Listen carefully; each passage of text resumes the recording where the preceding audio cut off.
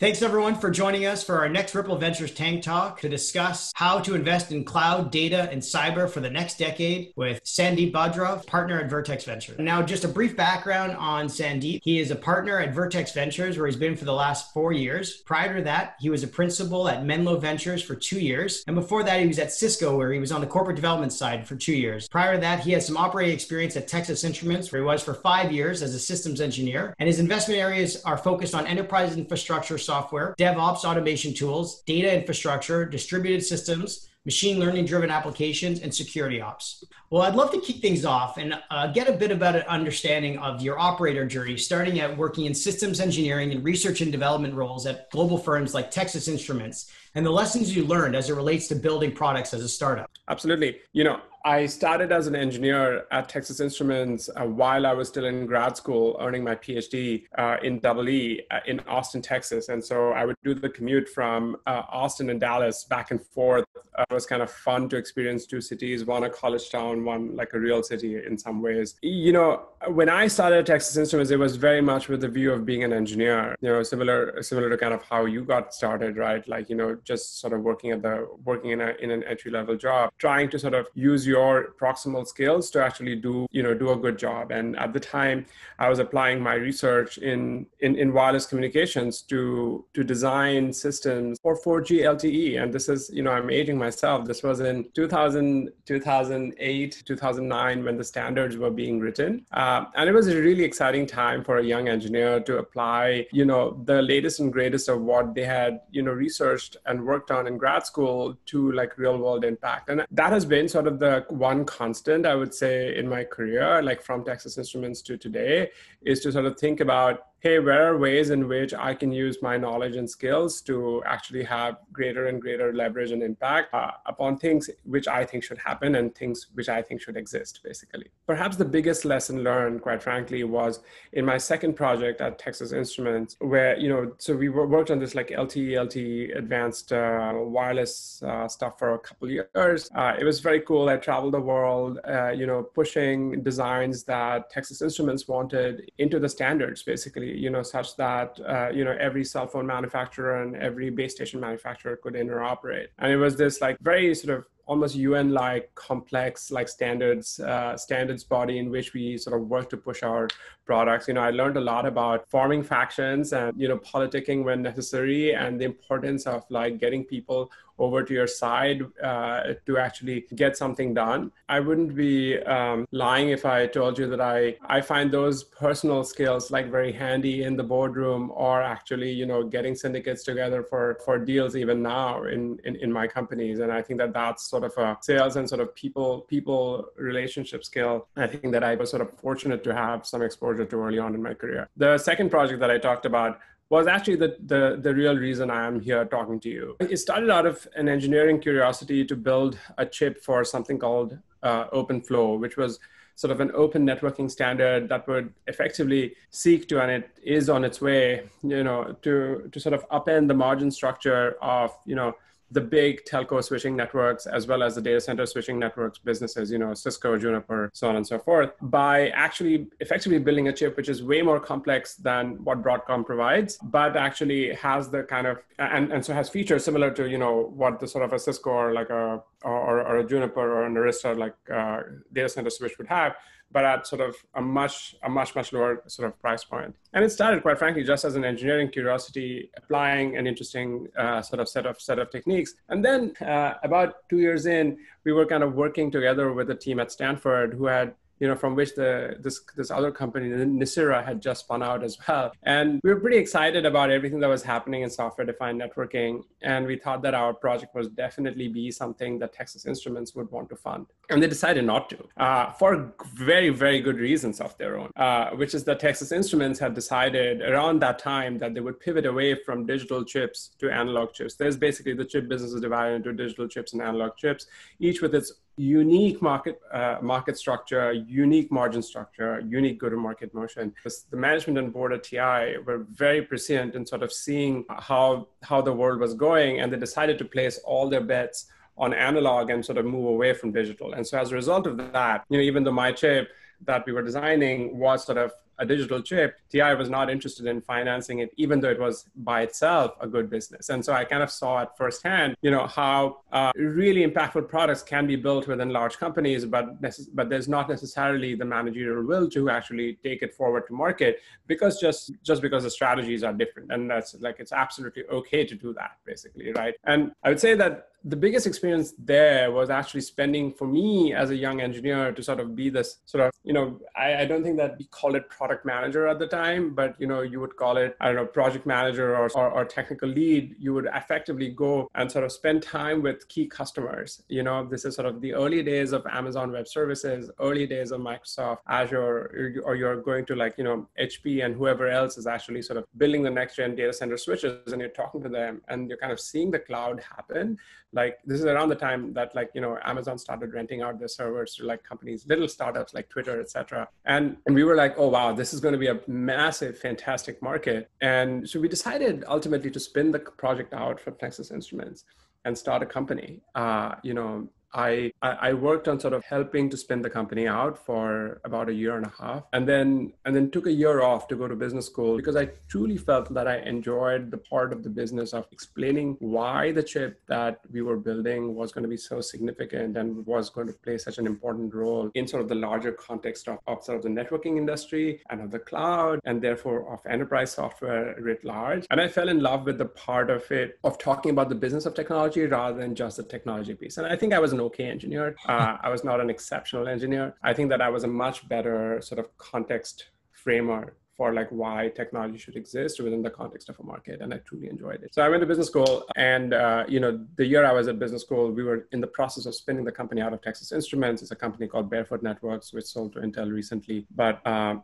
i learned a ton through the process of uh, finding customers understanding value proposition sales product management as well as sort of you know the process of spinning a company out and and the entrepreneurial process of trying to convince investors that what you're doing is worthwhile and building a team and all of that stuff right? And you know uh, even though i didn't sort of stick around in the in the startup very long because you know semiconductors and i had already seen the light which is enterprise infrastructure software and the cloud at the time that experience was sort of very formative and i still carry it with me. Wow. I mean it sounds like you got to experience everything from being a fast moving engineer excited about you know getting your hands on some frontier technologies but also having to deal with you know learning about political capital and being a consultant and a strategist and an advisor and then also just not being able to do anything because there wasn't buy-in from the board level which doesn't really happen at the startup level. It's usually move fast break things and don't wait for someone to tell you to do it. You had the total gambit of experience at Texas Instruments,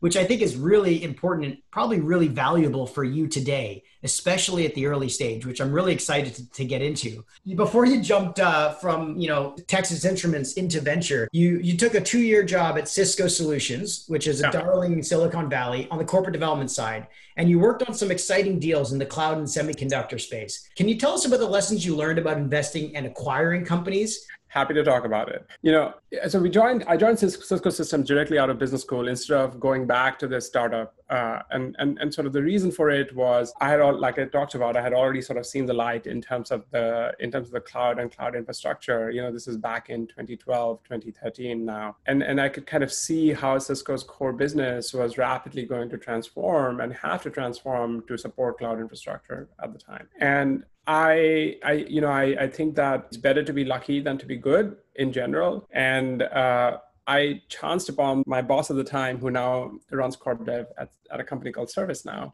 His name is Phil Kirk uh, at Wharton when I was visiting Wharton uh, during business school, and and he was like, "Oh yeah, you totally understand our business. Why don't you come and come and work at corp dev at Cisco? And you know, if you have forty billion dollars behind you, everybody takes you seriously, uh, and you get to learn enterprise software and how how companies are built in enterprise software and how uh, companies are operated at scale uh, in enterprise software. And I was very fortunate. Spent two years there, did about, and when I say did, I mean like led or assisted in about $400 million worth of M&A activity and, and led sort of five investments, uh, you know, strategic investments, you know, from Cisco's balance sheet into, in, into startups. One of the big lessons that I learned about investing in and acquiring companies, I, I think that the learnings probably were the greatest on the acquiring side of the house, quite frankly, rather than investing, primarily because it, because you know acquiring is much more operationally driven in the sense that you're doing these like multi-quarter studies of a market uh, or of like you know two or three companies in a market, uh, seeing how it dovetails very nicely into Cisco's go-to-market uh, and product strategy, and trying to see, you know, you know, if one plus one can be equal to four or five, basically, and then you're sort of going in and you know paying two dollars to kind of buy that company, right? And and that process of uh, of thinking about enterprise go-to-market, uh, about organizational planning and operational planning at scale in software and all the moving pieces of post of post merger integration and trying to make sure that the company that you have brought in is not smothered by like the big giant but at the same time you know is able to leverage all of the successes that Cisco has in the field as well as in the product organization. I don't know. I mean it was like high throughput learning and I and I cannot thank enough uh, the team there for like wonderful experience that I had at Cisco. And it was it was it was a really tough place to to leave uh, because of because of all the learning there right you know in terms of in terms of investing in companies um, i think we observed two things two two big lessons which i I think I carry I carry with myself even now. I think one is that the best the best companies, you know, own their own destiny you know even though cisco has so much capital and you know we have so much access to like customers and cio relationships and you know wallet share and so on and so forth you know we would routinely meet like tremendous founders and they would look at us across the desk and like know very clearly that they could run their business the way they wanted to without necessarily depending on us. And so it it felt like it felt like this david versus goliath moment where you know i representing goliath is i'm sitting on sort of one side of the table. And there's an extremely calm and confident david right? Uh, you know and she's sort of looking at me and saying yeah you know you guys need us as much as we need you. And you know and and it is kind of you know having having been at sort of the early early part of sort of starting a company you know uh, during my time at TI, I could kind of understand how deeply these people felt about the life's work that they're doing at their at their companies and why they have started these companies. And you know, I, I grew to appreciate the very human aspect of why founders start companies. You know, they feel this this angst of like not being able to do what they want to do anywhere else. And this is i mean it's an act of desperation you know entrepreneurship as an act of desperation. And and then like you know once it, it works it is their life's work and they treat it as such. And you know it, it it was i mean it was it was probably the best learning of like how high quality entrepreneurs like you know act and behave you know even after you know they have achieved some modest success but like by no means you know are concerned about you know Cisco or or IBM or Microsoft or Google or anyone else because they feel very in control of their destiny because they kind of have a design in their mind of like how it's supposed to unfold and they're they're kind of you know walking down that and so learning negotiating with with people like that is probably the best thing I learned at Cisco. It must have been important to see a mission and vision alignment with them as well. Of course, of course. But you know, everything that I understand about negotiating, uh, I understand it, you know, thanks to my experience at Cisco. So that's one. Two, you know, I understood the difference between building great products and having great go to market because we would routinely see companies which had great products but bad go to market and vice versa. And three, I think I, I, I think I understand very well, thanks to my time at Cisco, you know, how difficult it is to to build long sustainable moats in public companies basically right? And uh, you know, I I cannot talk about uh, the various public companies that we tried to acquire during my time at Cisco as well to transform the company. You know, I think it is it is just fantastic uh, to see you know how well complex large ships are are run by like experienced management teams. I mean you know there's a lot of talk in startup land about oh you know big companies are slow moving giants and the answer is yes big companies are definitely slow moving giants. But uh, operating a ship at scale is is kind of nice to see even when you're investing in you know fast moving little uh, pocketboat can you give us any examples of companies you missed out on that you can share publicly? Oh absolutely. Uh, ab- absolutely. I mean we saw datadog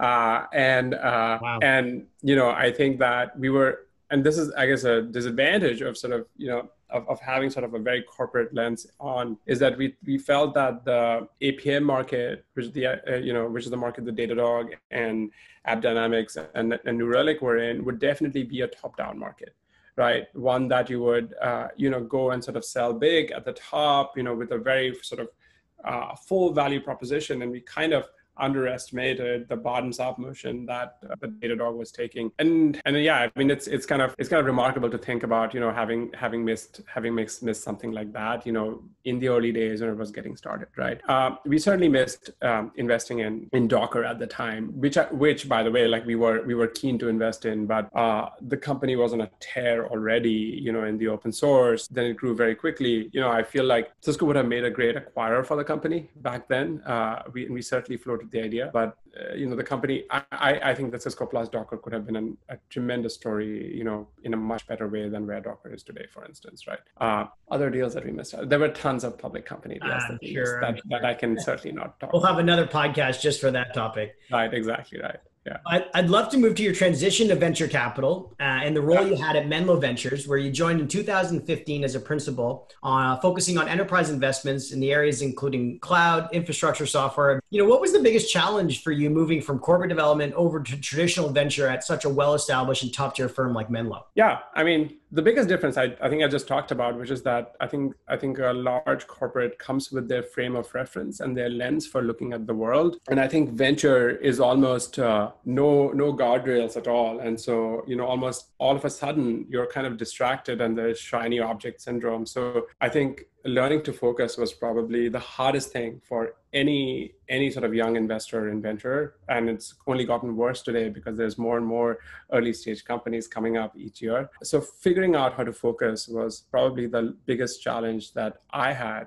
to you know with myself quite frankly as sort of sort of a young young principal running around and meeting all these interesting founders and sort of moving from pillar to post trying to figure out like you know which is a great deal i want to do which is not a good deal i want to do. You know unlike unlike being at a large strategic like cisco where you're effectively winning deals because you represent you know the the network and relationships and uh, and sort of customer access of and the market access of Cisco, you know, doing it in an institutional venture capital firm is is is somewhat different, and you know, it's much more competitive when you're leading deals versus you know you're kind of you know following deals as we typically did at Cisco. So I think understanding the game you know which is that venture is like basketball where you know little teams are formed and you run plays very quickly and you and you and you sort of try to win a deal you know over and above other people and other other investors. So sort of you know getting to founders quickly understanding the competitive nature of this business was probably the best thing i learned at menlo and you know the firm continues to excel in sort of doing that right? The other the other big challenge uh, which is kind of related to you know corporate guardrails versus you know free for all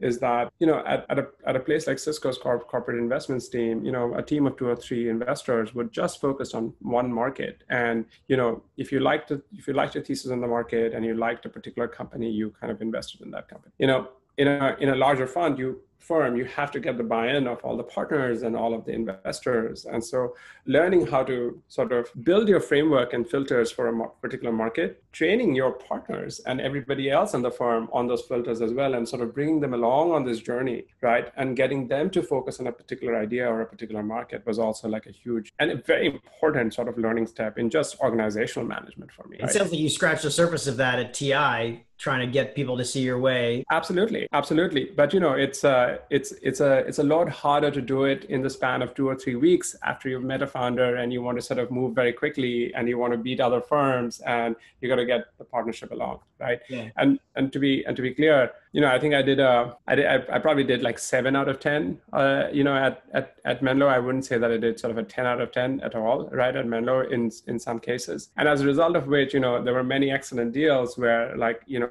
I fell in love with it. I built a relationship with a partner, but, you know, I was unable to bring the entire partnership along with on the, on the ride for me. Right and vice versa as well, right? Yeah. Uh, there were enough deals that you know we all saw that, and every venture firm has their sort of anti-portfolio, and and I think that the biggest learning at Menlo, quite frankly, was this basically, which is that there's a process with which to build frameworks uh, and think about markets deeply and sort of spending time like you know meeting all of the companies you know within a particular sort of market area trying to sort of hypothesize by talking to customers and other uh, you know operators where value is likely to accrete in, in, in a market and having and sort of building the you know what a what a hedge funder would call edge right? Which is like a which is a, a differentiated non-consensus hypothesis about how the market is going to look like such that even when uh, you know the revenue traction is low you know you can kind of believe that this is going to be a winning company or if the revenue traction is high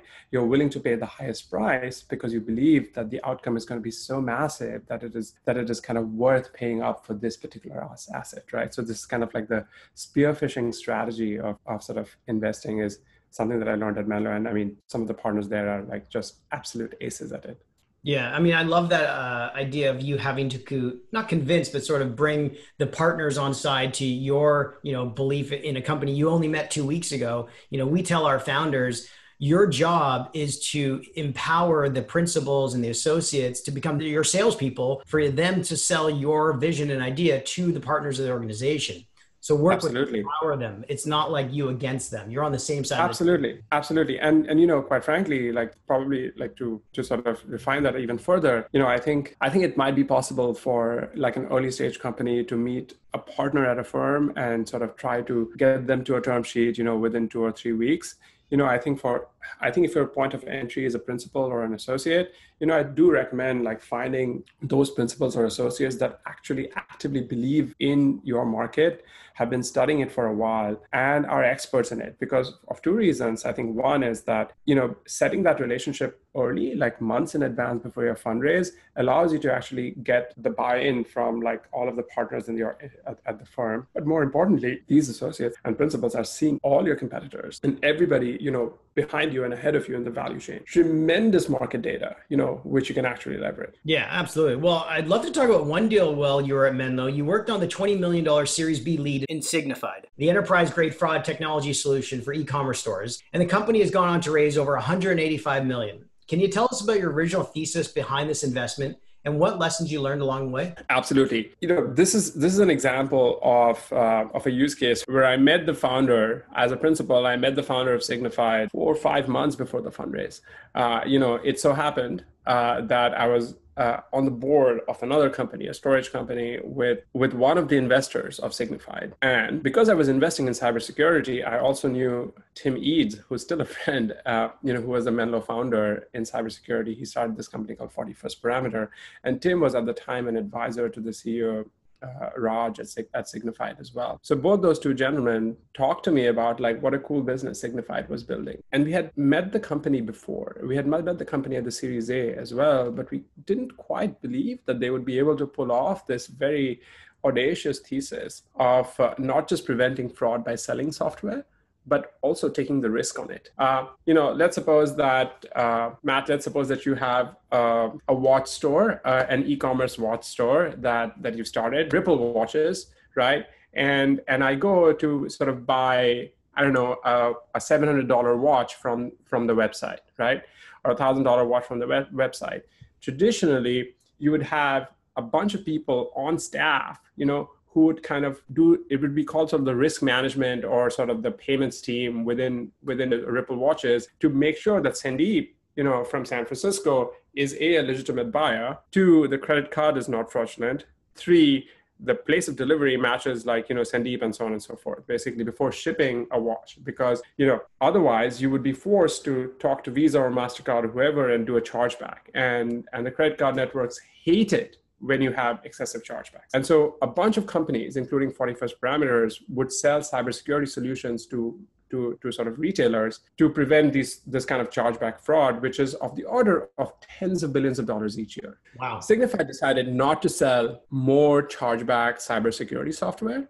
Instead, they said, trust us. We will take on the risk for you. So we will insure you against chargeback fraud ourselves. And so, so they believed their software so much that they were willing to stand behind it. And so rather than just sell enterprise software, they also sold basically peace of mind. Yeah. Right. And we didn't think it would work as a Series A. By the time you know I found out about these two these two investors uh, that that Signifyd was act had actually pulled it off, and they had launched landed some massive customers. Like they had they were about to land jet.com or they had just landed jet.com and like a few other massive companies. And like the business was growing like a growing like a weed. I knew nothing about the payments industry. Just just to be just so that we're extremely clear i knew nothing about the payments industry. But i fell in love with the with the idea of a technologist and an entrepreneur who's not just selling a software solution but is kind of standing behind it you know by sort of backstopping it with their own capital. And customers loved that value proposition obviously. It was a it was a no-brainer. And so i spent the next two two months working with my partner Pravin Vazirani at at menlo who who knew something about the payments business who knew a lot about the payments business to be candid. And you know work together to to a scan the market understand you know what incumbents are doing understand you know what private equity owned companies are doing in the same space you know try to size the market. And ultimately we went with the fact that they were building this massive data moat of like you know good customers versus fraudulent customer accounts. And we loved that. And two we bet on the fact that it was early days of e-commerce and that the market would only go up from there. You know since then and through the pandemic signifyd has grown in like leaps and bounds. I think the you know the fundraising amount like kind of does not adequately capture how massive a business it is today. And the various directions in which you know fraud management and B2B payments are going in terms of claims, et cetera, et cetera, that Signifyd is uh, on, on track of. You know, candidly, uh, the biggest lesson I learned, I, I suppose, that Signifyd was this, which is that, like, you know, I had the luxury of time because I had met the founder early in the journey. I did have to do the analysis for myself and sort of, you know, I, but the good news is that I had the luxury of time of like a few weeks to sort of get the partnership on board and finally, I learned that, you know, I can catalyze a Series B round if I want to, if I have conviction on a deal, rather than waiting for the founder to like, you know, uh, go out and sort of raise, uh, do a do a full auction. And I learned how to sell myself and the value of the firm. Uh, that I was representing to win the founder over. That's incredible. I mean, there's so many lessons in there. You know, build relationships early, even if you're not ready to invest now. Don't be afraid of an industry you know nothing about absolutely nothing about, and then prove to the founder that you did take the time to learn about their industry, show them that you care, and then win them over with how much of a believer you've become when maybe before you were a non-believer. That's you know that's a great bunch of lessons I think for for the audience to hear. Uh, I'd love to move on to you know your time now at uh, Temasek backed Vertex Ventures you know, you joined Vertex Ventures as a general partner, uh, focused on the same enterprise investments in infrastructure, software dev tools, and security. You know, what excited you most about joining the team at Vertex? You know, the there are two things. I think I love early stage venture, uh, and part of the reason I like it is because you know the process i talked about at texas instruments which is understanding why a piece of technology is valuable in the context of a market and why you know it can transform a market and therefore like create a lot of value and sort of grow value itself uh, is something that I'm deeply passionate about. And, you know, I'm probably more passionate about technology markets, Matt, than, than sort of technology itself. And so, you know, I feel like the best time to intersect with founders is kind of at the time when they've built a product, they've started to demonstrate the value proposition of what they are building currently, you know, with customers and also sort of look at the roadmap and kind of dream the dream of how big this could be, not just in terms of how many more customers they could get or, you know, how the SaaS metrics could look, but also in terms of what else could you build on top of this base layer that you have business that you have built and like what are other act two, act three, you know, sort of pieces of the business that you could unfold every two years or three years to build like a massive sizable business, right?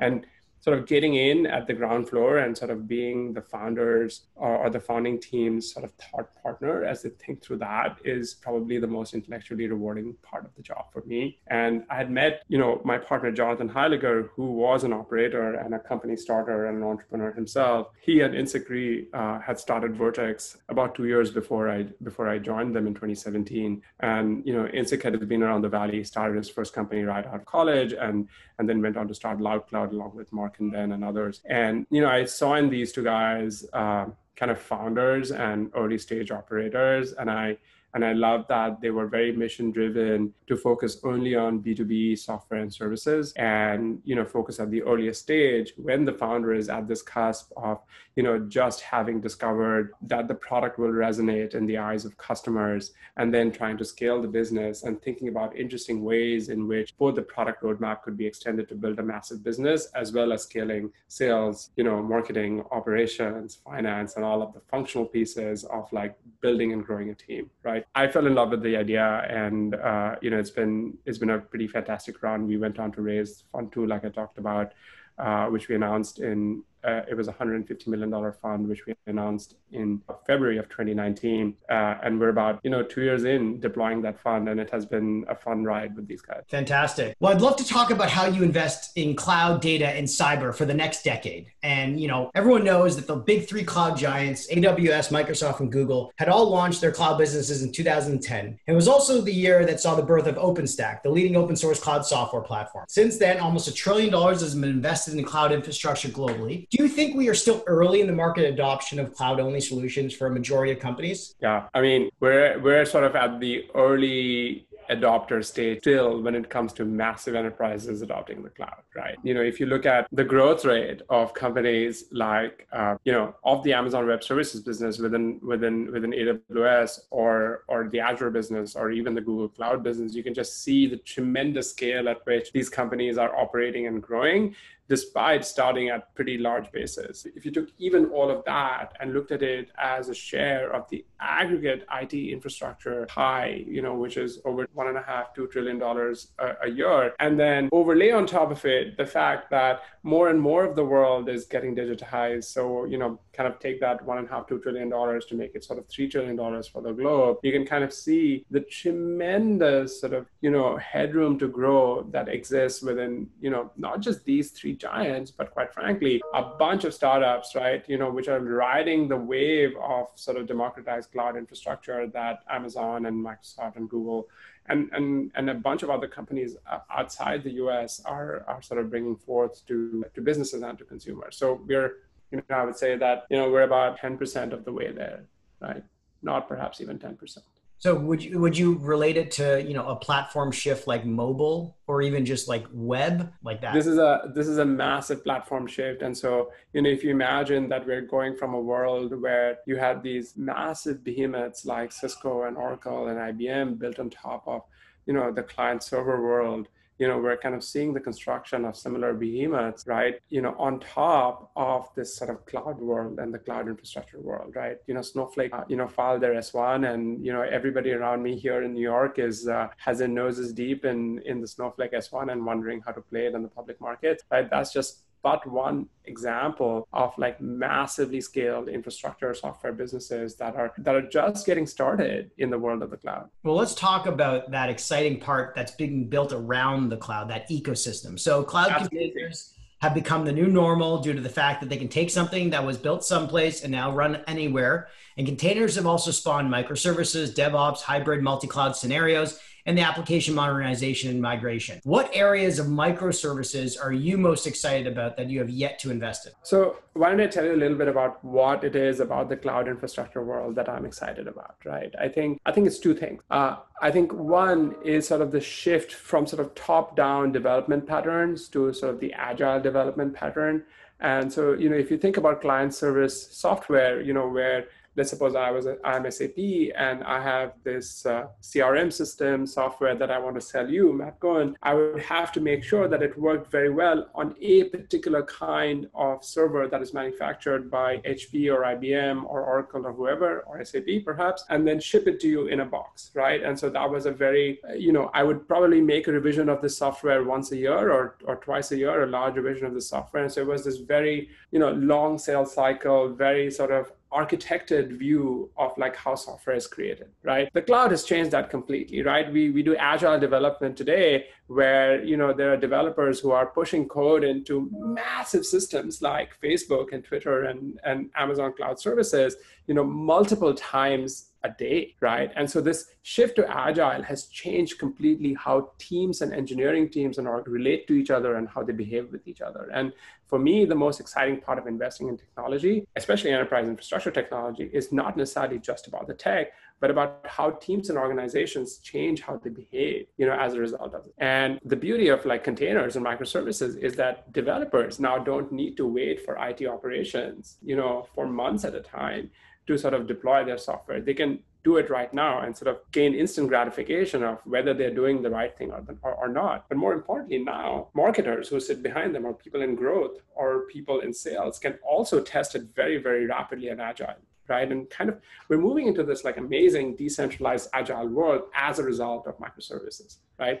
And so there are ways there are obviously massive markets that we're very excited about in microservices. So i think one you know we're really excited about the market for for service catalogs which is sort of this esoteric word for sort of a class of software that helps engineering teams which are completely like you know little two pizza teams in engineering and operations you know coordinate with each other to say that you know sandeep's microservice continues to work well with matt's microservice whether matt and sandeep are in the same organization or in different organizations right? And so so coordination between teams especially as you go from 20 services to 100 services to 2000 services is a very challenging and interesting problem and we're very excited about it. Continue to be extremely excited about uh, you know data and data infrastructure in the context of microservices right? Like with the shift to the cloud and serverless and all those things you know front end developers all of a sudden are extremely like empowered right? Like you're seeing the jamstack come up and you see you know all of these interesting uh, frameworks like React and Angular emerge to the fore. You know, what that means is that backend teams have to be able to re-engineer their engineering processes and systems to be able to like offer this to front-end teams. And so, you know, there's a bunch of interesting work that is happening around, you know, companies like Netlify, for instance, or our portfolio company called Hasura, you know, which is building a GraphQL backend, you know, to sort of empower the microservices revolution. Uh, you know, other areas that we continue to be very excited about is of obviously security in the context of microservices, right? What does it mean to be able to reuse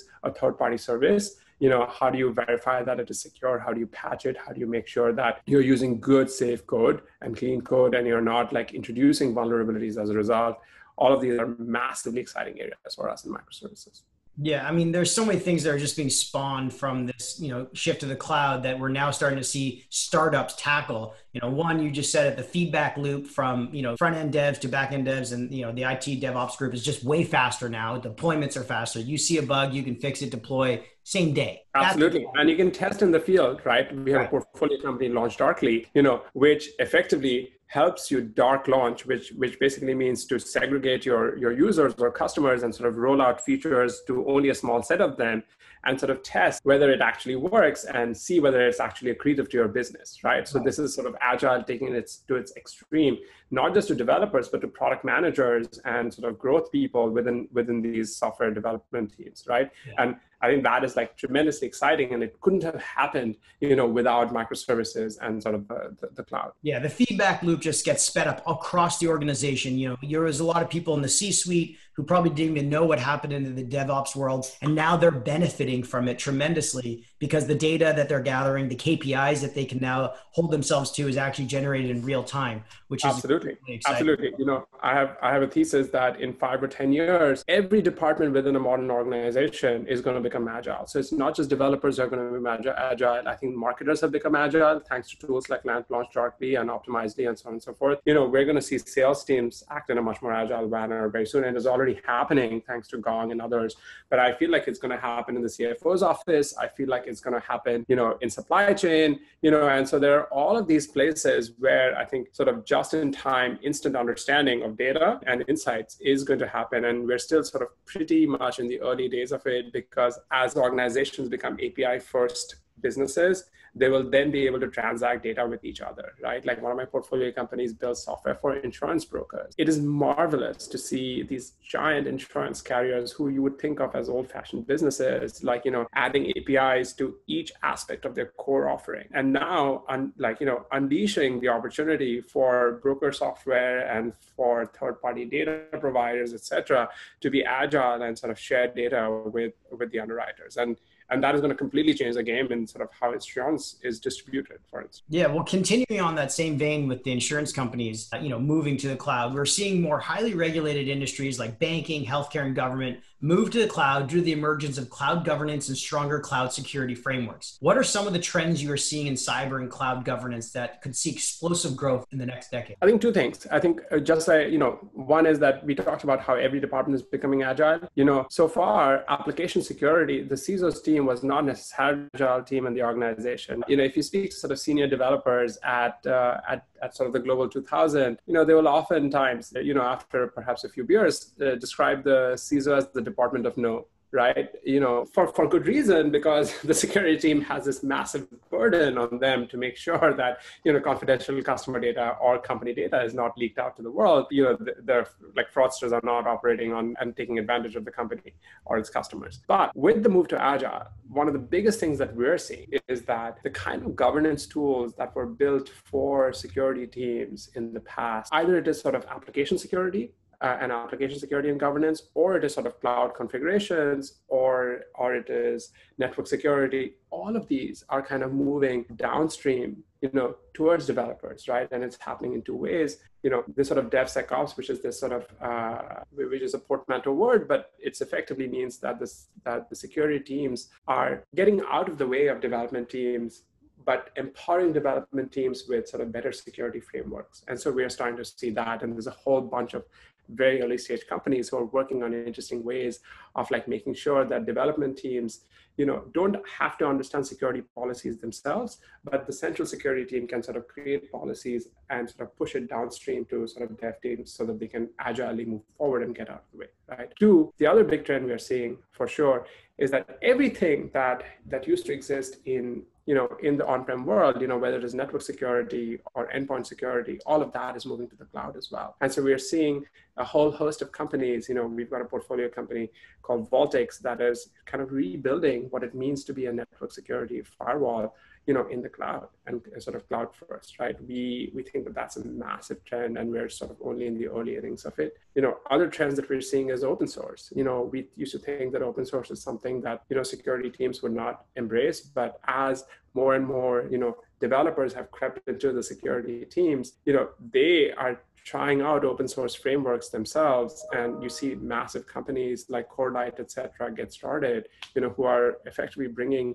the security world to open source and to developers as well. That's really interesting. I mean there's probably so much in terms of just different languages there being spoken by all the departments that you know agile can really help with and also the company you mentioned is also bringing the two groups together so they don't have to have this like broken telephone all the time when trying to move very fast. So I'd love to ask, you know, we've discussed, you know, everyone moving to the public cloud. Are you seeing more early stage startups having success getting traditionally larger enterprises go onto the cloud and stop requesting these on-prem deployments? And if so, what industries are you seeing the first to move, and why do you think that is? So let me let me answer that. Let me answer that sort of in two ways. I think early stage companies who decide that they want to be cloud first and embrace agile as they should should qualify, qualify, qualify customers and absolutely not sign up for on-prem uh, software. Like, uh, I mean, I hold this very fundamentally and very dearly as a belief today, because there's almost no company in the world today that does not have a cloud strategy.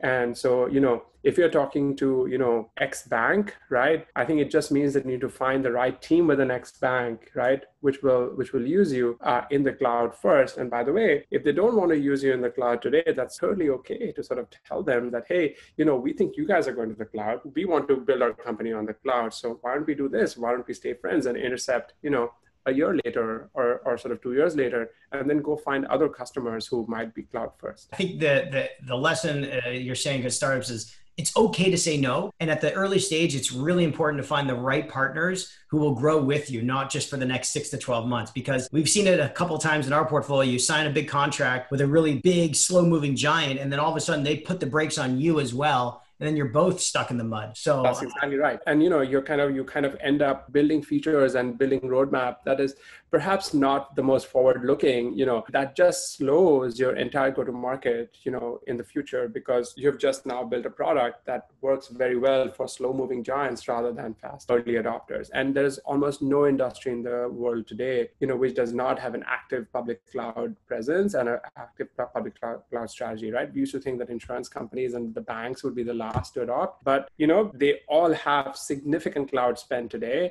and there's no reason why you cannot actually find the right teams within those organizations to to sort of be your pilot customer. No, that's a great point. So at Vertex, you know, I'd love to talk about what you guys focus on. You focus on seed stage and, early stage. You know, given that you're looking at companies at the early stage that probably don't have a lot of customers or sales for you to gauge against, how do you weigh the lower traction against the larger potential market opportunity at the early stage for investment? You know, for us, it's not really about traction, right? Uh, you know, when you invest at the seed, you're effectively investing in kind of three things. You're investing in in the market. Like, do you believe the market, and do you have a point of view or a thesis that this is a market where an early stage company with a certain kind of characteristic will be able to win and, and sort of make it big? Two, you're investing in teams fundamentally right? Like, you know, as much as you and I can sit here and talk about our love of a particular market or a thesis in a particular market, quite frankly, product market fit, finding that, finding that, and then growing the business and sort of building it into a giant is effectively, is solely the CEO and the management team's preserve, right? And so, uh, you know, for us, finding founders and, and, and management teams that have a very clear vision of how the future should look like right i talked about it you know when i talked about about about my experience at cisco who have this sort of clear true north in their minds about you know how the market should be and how their company is going to impact the market right finding that i think is is probably the most important thing so i would say that the two most important things we look for uh, quite frankly are sort of do we love the market do we have I believe that this that this market is ripe for change. And two, we effectively just back teams, right? Like, you know, the biggest learning for us as a firm and for me as an individual investor has been to identify founder characteristics. And i'm sure you do this much better than than, than we do uh, matt because you invest a little ahead of, uh, of when we do. But quite frankly just just finding these people who are able to you know get the world to bend to their will is probably you know the two things that that we look for. And at our stage you know there are sort of two or three characteristics that we that we pick up on you know when evaluating founders. One is can they convince customers or users to try their product you know even while the product is not fully baked in and fully built you know which means that they have this sort of conception of why their product or the technology lives within the context of the market you know which is which is something that i care about deeply. And two are they able to recruit well right? In today's world there's more capital than talent right? And you know smart people have the option of going to work at any number of places right? So founders are able to tell the tell the vision of what they're doing and bring other people along for the journey, you know, are usually the best salespeople. and even if they don't think of themselves as salespeople. Yeah. We ask ourselves at Ripple, like, would I want to go work for this founder? Would I want to go work for this person? Right. And and to, to be candid with you, for us, like that's those are the two things that we look for at the seed. You know, there's metrics and there's numbers, et cetera, et cetera. But quite frankly, you know, at the seed, uh, you know, it's all law of small numbers. And so who cares, quite frankly? Yeah. And, and because our investment strategy is such that we invest in only a very few companies each year, but actually spend a lot of time, you know, with those companies, we definitely take the view that, you know, we have to believe that whoever is leading the deal, you know, wants to work for that company. Yeah, that's a huge thing for us too. And we try to do some psychometric testing as well on the founders. Oh, interesting. Yeah, we, we definitely use it. It's uh, it's an interesting thing that works for us. So you know, especially in a remote world, doing due diligence, uh, you know, when you can't meet face to face, it helps us. So, well, I'd love to move to my favorite part of the conversation, which are your book recommendations. And these are some Absolutely. very, very unique and exciting books. So, why don't you tell the audience about why they should be listening or reading these books? So there are four books here. Uh, uh, the, the first one is called 2666. Um, it's by a Mexican novelist called Roberto Bolaño. And it's, a, it's sort of an ensemble piece of, uh, of three related narratives, which are thematically related to each other, but, but are not exactly so and have sort of one or two overlapping characters but they're not sort of exactly uh, the same narrative it sort of it captures uh, you know a pretty a pretty testy time in in sort of mexican society around the time when you know there were a lot of there was a lot of drug war and, and violence in Mexico in the northern border at the same time, sort of, you know, observing how sort of traditional me- sort of Mexican society was changing. I mean, I, I was referred to it by a friend who uh, was born in Mexico City and moved to this moved to the states, uh, and he told me that it was it was this nice way of sort of understanding, you know, uh, you know where she came from, and uh, and I, I felt that that was like reading a novel is such a great way of being able to do that. The second book is a book called uh, On Beauty by Zadie Smith. It, you know, it, uh, it, it's it's about a mixed race family growing up in England um, in the late 90s. Uh, sorry, late 80s, early 90s, and it captures uh, sort of the immigrant's experience uh, in, a, in, a, in a foreign country very well. And so it's kind of very personal for me. The third book is probably my favorite book of the lot. Uh, it's a book called uh, The Three Body Problem, and it's part one of a trilogy. It's a science fiction novel written by a Chinese author called Cixin Liu. And I picked it up from, I think, Bill Gates's podcast or Barack Obama's, I can't remember. It has been the most profoundly changing books that I have read in the past two or three years in terms of just thinking about human action and and time and scale and the universe. I mean, you know, I, I highly recommend it. I mean, if you if you go on if you go on Twitter or Reddit and sort of type three body problem, you'll just see like entire cults of people that like you know worship and dissect and an, uh, analyze uh, analyze this book. And it is effectively about about the things we choose to do and the things we don't choose to do as humans and uh, their intended and unintended consequences as they ripple across millennia. And so it's this is this book written with sort of grand, massive scale. And the final book is a book called Love in the Time of Cholera by Gabriel Garcia Marquez. It's a it's a it's a love story. Uh, it's probably the ideal pandemic reading in my view. well, I'm definitely going to add a couple of those to my Audible uh, list to get over the uh, the next few months of 2020. Before we wrap things up, I always love to ask our guests for any final words of inspiration for our audience. Yeah, I mean, you know, I think that there's a lot of talk about venture and about you know, you know, raising seed capital and you know, you know, moving quickly and so on and so forth. I think that the the hard thing for I think most entrepreneurs to realize and, and quite frankly most investors to realize that no company is an overnight success. You know, that it takes years and years of toil and grinding to kind of find the thing that works and then even more years of refining the thing that works to actually build a massive company you know before it either goes out to the public markets or sort of gets a gets fanta- gets a fantastic acquisition offer. And so i think i think the, the only word of uh, sort of inspiration that i that i guess i would i would have is that you know the grind and the hustle is obviously very important but ultimately you know great teams build great companies and uh, you know it's a people business. And you know especially in sort of trying times like this when you know startups are thinking about cost and you know you're thinking about like you know how to get the next piece of revenue. I think treating people well is probably going to be the the biggest lesson i think learned by the founders that that sort of emerged through this period. And i feel like we'll just we'll see like amazing leaders come out like through this through this process of sort of testing their wills and and testing their ability to grow and manage teams. And i'm just like fantastically excited for how we will relate with people and how we will grow companies. That's fantastic. It sounds like the pain is worth the gain in your mind. And so absolutely, man. The hustle. Diamonds are created under pressure. awesome. Well, thanks so much for doing this. I really appreciate Sandeep and your words of inspiration. I hope will ripple through a lot of entrepreneurs who are starting companies. Thank you, Matt. It's such a pleasure to be here chatting with you, and thank you for organizing this. And it, this was this was a great conversation. Thanks a lot, man.